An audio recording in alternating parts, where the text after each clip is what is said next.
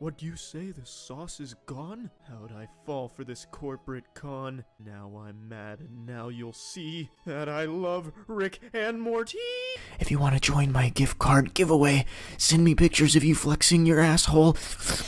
Lucifer was going to infiltrate that church, and his portal was my butthole. I will literally fuck you in the butt with my small penis. I walked into a gas station, marched into the bathroom, dunked my hand into the toilet, and put a finger in my butthole and whispered, Thank you. Hey, have you seen my jar of farts or something? I don't think anyone's gonna go out of their way to pay money to see a man with an erection that's twisted like a fucking corkscrew. What did he say? What the fuck? What the fuck? He didn't like parts 3 and 4. I'm fucking out of here. Charlie sucks. Parts 3 and 4 are the best. Shit!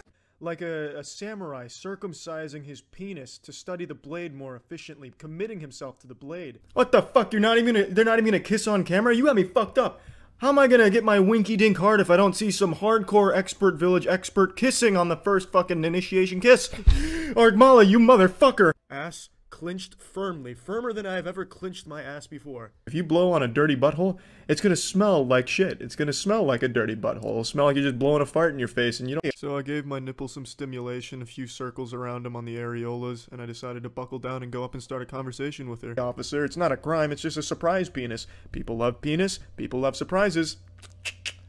You do the math. I will genuinely shit my pants, take off the shitted pants, and then eat the shitted pants. Hey, can you like and favorite that video, please? Uh, share it around with your friends.